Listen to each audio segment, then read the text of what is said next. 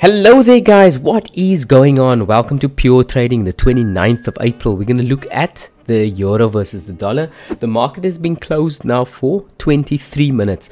Look, another good week. The reason for that is because everything has been going down. It's been following the fundamental view, so it was easy just finding that setups inside your daily and then your 15 minute chart. So we are bearish on the euro bullish on the dollar so which means we are looking to sell this pair.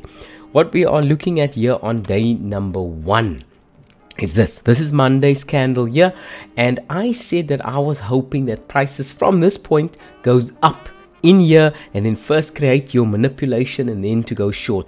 But as you can see that doesn't happen. But what does happen? We can see that the midpoint of your envelope which is this orange line here prices are respecting our level it respected this on tuesday. And then again earlier on today we can see that here that prices has been respected right there today. That's friday yeah? So tuesday and friday we are supposed to see a nice looking setup there. And our setups is going to come in the form of an RSI divergence. You can use whatever setup you want whatever works for you whatever you feel the most confident with whatever you have tested. I like the RSI setup in in these cases here. So let's look at your 15 minute and we are going to look at Monday. This is the 25th of April. This year is Monday. So remember, I wanted prices to go all the way up from this point up all the way here and then cause manipulations here before coming down.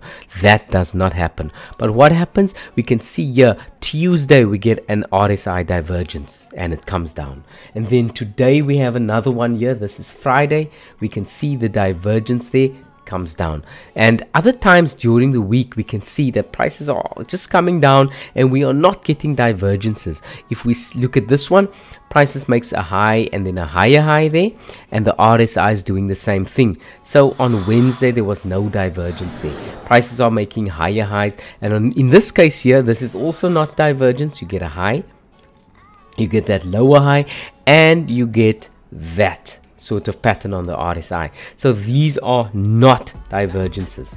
Yeah? These two were not. So the only times we got a divergence in this week was on the Tuesday and then also on the Friday. That was Friday's one day. Friday's one wasn't that good um, with regards to profits. It was just a one is to one. But the Tuesday one was very nice. You can see if you followed it all the way down. If you've trailed your stop and all that then things would have been hunky-dory for you. Then we have the pound. So this is the pound on the daily. And if we look at this candle here this is our monday candle what we wanted was for prices to come up into these levels here and then to come down. That doesn't happen. Now look at tuesday's candle. Doesn't even touch the midpoint. Neither does wednesday and neither does thursday. But what we have here on our friday is the midpoint touch. Yeah? So we are going to look at a trend trading sort of a method. I know i like using the Heikin Ashi but if it's this um, volatile, if the trends are so volatile, then um, and I'm not able to find the trend line because it's too steep, then I'm going to have to use dynamic trend lines here. Like in this case, this is a five period moving average that just follows the price nicely if the trend is volatile. So let's zoom in on the Monday, sorry, on the Friday. We can see here, this was a setup happening here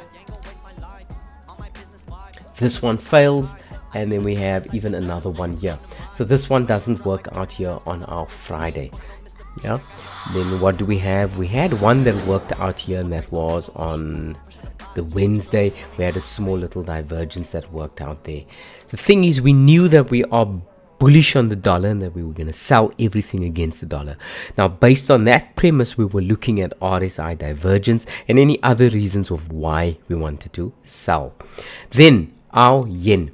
The yen pair was uh, not that easy for me. Let's go to the daily chart here first. We can see prices are just going up all the time. Yeah.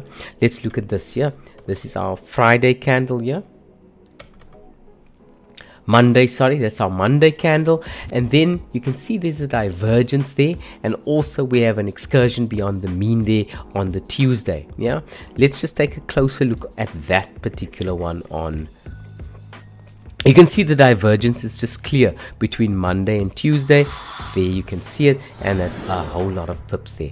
And then in this case here, this is Thursday, prices shoots up, yeah. So it's a very strong surge. Prices are going up. Look, I don't know why that prices went up, yeah. Market makers, banks, commercial players, whoever they are, I think we should just not care and just know that there's a lot of players in in the game when you see such a big move up yeah or big move down. So what we have is a big move up there and there is a gap here yeah.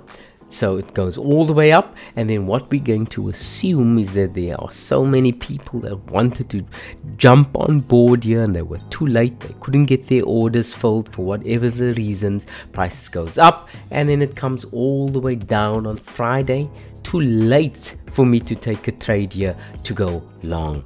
I hope that makes some sort of sense there because this is a this is what you call a fair value gap sort of entry there.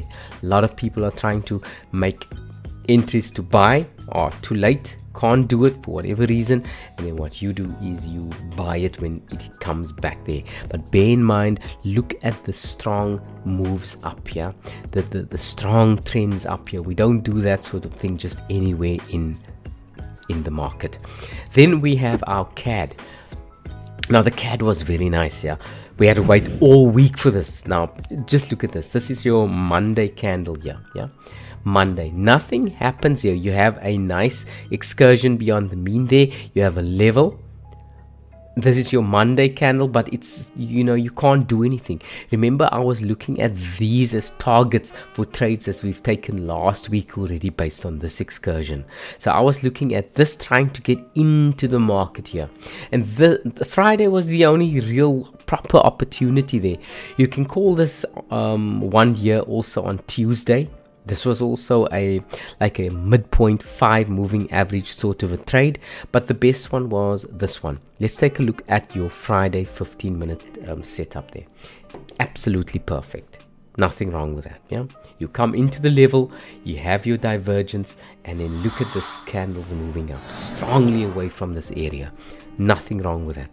I hope you can just clearly see this that prices comes into the level. This is my daily. Uh, why is this a level? It's a level because of that. It's a level because of this area here. Prices comes back and there's an excursion beyond the mean and then on your 15 minute there is this perfection absolutely perfect then we have our commodity trading pair here this is the aussie versus the dollar look at this another perfect one you have your nice level perfect level and then there's an excursion beyond the mean. If you look at this, this is your um, Monday candle here, Monday, Tuesday, Wednesday. This is your Monday, and you are looking to go short, people. Yeah, so I am looking at the midpoint, or preferably, I'm looking at, at an excursion beyond the mean there. Yeah, so the, this is the midpoint. This year is your Monday candle. Prices comes down. Prices goes up to the midpoint.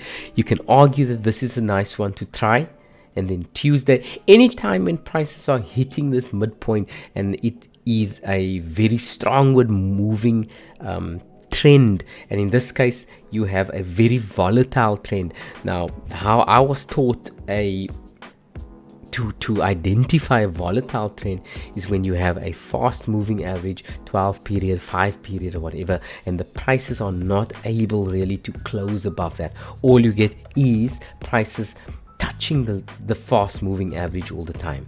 And then my bread and butter sort of entry here, you get your excursion beyond the mean plus a level, jumping down to the 15 minute as easy as possible. You see your divergence there as clear as daylight there. That's my divergence there, and then that's your entry.